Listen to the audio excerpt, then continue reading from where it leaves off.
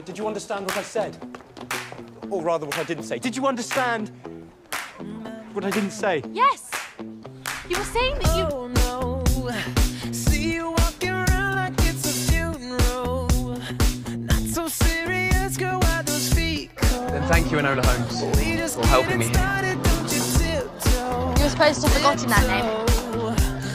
Lola. Don't speak to me here, otherwise you'll be thrown into the street. Better in breeches, I'll give you that. should be rolling me. You're a real life fantasy. Been in a fight before, haven't you? fantasy. Plenty of fun. But you're moving so carefully. Fine. Let's start Can you teach me to fight?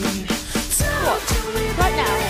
In a carriage? Did I not teach you to dance in five minutes in a bar? You could dance. When? Teach me to dance now. You understand I've been learning since I was five. Good.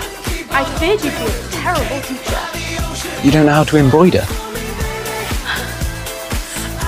I've missed you, Enola Holmes. I wanted to miss you. Not entirely in it. I'm here because I've grown to like you more in your absence, and because, as it turns out, your life is still in danger. What's made you like me more? Really?